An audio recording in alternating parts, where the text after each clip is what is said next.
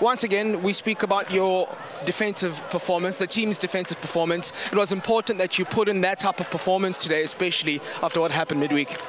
Yeah, obviously, you know, um, President Derby.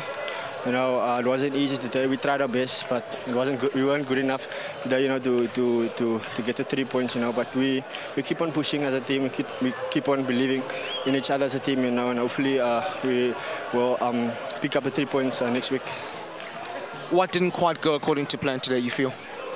You know, um, like I said, as a KZN, case in Derby was really hard. You know, we didn't create clear-cut chances like we, we usually do. You know, um, AmaZulu was quite good today defensively. You know, it was difficult to break them down, but you know, we keep on pushing. Congratulations on your performance. Thank you.